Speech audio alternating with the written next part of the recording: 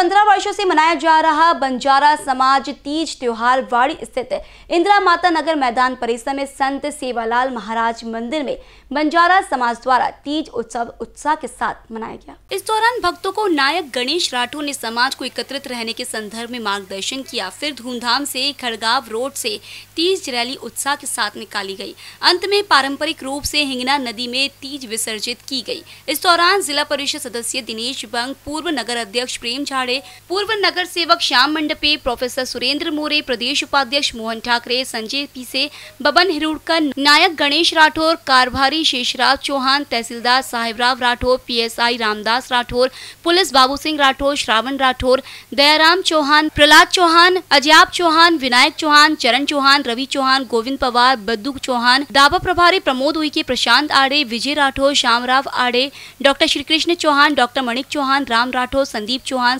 संदीप जाधव, सुशील राठौर, प्रकाश राठौर, दिलीप राठौर, सुनील चौहान विट्ठल जाधव, दिनेश आड़े, प्रेम सिंह राठौर, भारत चौहान, घनश्याम आड़े, दिनेश राठौर, विनय राठौर आदि प्रमुखता से उपस्थित थे।